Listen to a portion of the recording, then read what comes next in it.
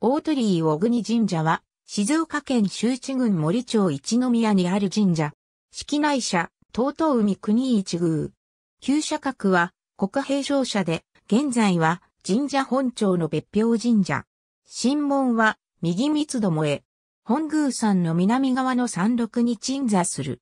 社名の小国は、出雲の大国に対する東東海の微笑とする。境内は秋には紅葉の名所として有名である。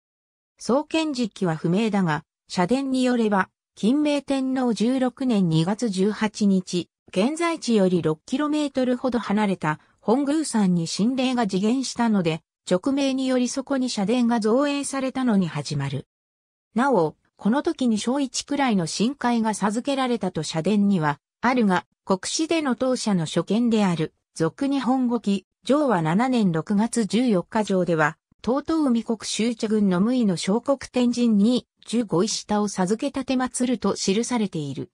六国史終了時の神会は14上である。演技式神名帳では勝者に列している。皇族や武将の信仰が厚く、東東海国一宮として数形を受けた。当社を一宮として記載する資料の最初は、1235年の東国鎮守小国一宮という記述である。江戸時代には一宮神社と称していた。中世以降、朝廷の衰退により直視が廃れたが、室町時代、戦国時代を通じて祭祀が、と断得ることはなかった。元気三年、海の武田信玄が東都海に侵攻した際、当社神職は徳川家康に味方した。天正三年、徳川家康が社殿を再建し、江戸時代に入ってからも、歴代の将軍が社殿の造営や営前、車両の寄進を行っている。